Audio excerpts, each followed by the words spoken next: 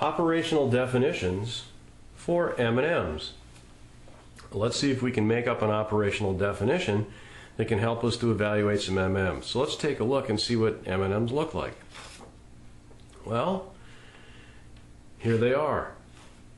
We have plain M&Ms, peanut M&Ms.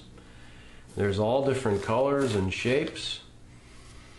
And what we ought to do is take a look at putting together an operational definition. Well, an operational definition that we could have, we can look at characteristics, color, logo, shape, cracks and chips. The requirement, we want to have a uniform color. It should be legible with a complete letter. The shape should be uniform, not odd. Follows the shape of the peanut. And no cracks or chips.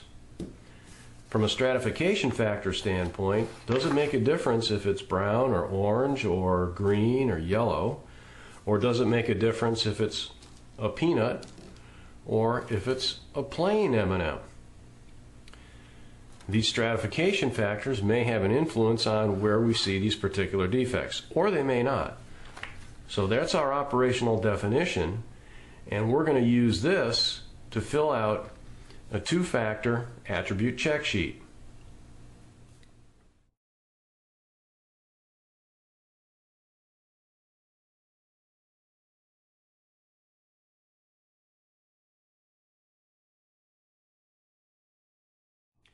Here we have our two-factor attribute check sheet.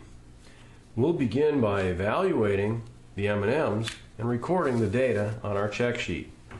Over here for the sources, we're going to record every time we have a brown one or a plain or a peanut so we can get a tally of all total that we looked at. And then in the body of our two-factor check sheet, we have our color, M&M stamp, shape, and cracks. Those are our critical to quality characteristics. And then our sources are the stratification factors such as the color of brown, green, red, yellow, plain, or peanut. Excuse me.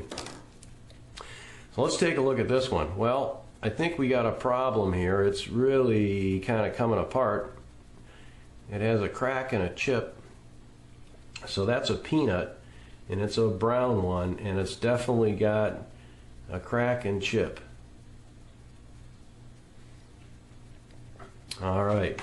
Now let's take another look at one. Let's see. We have an orange one, excuse me, and it has a problem with its M stamp. Now from a taste standpoint, this probably doesn't make any difference at all, but from a visual characteristic standpoint, we had a plain one with an M stamp and an orange one with an M stamp. Now we're going to separate this out from the standpoint of the stratification factors. We just need to record them completely in our sheet. And then when we put this into Minitab, we'll do some further analysis on it to get a feel for did the stratification factors make a difference?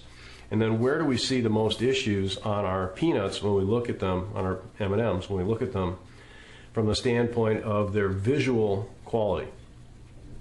And that's all based upon our operational definition that we put together that talked about here's the characteristics that we consider to be important, here's the requirement that we have. If they don't meet this requirement, that's a defect.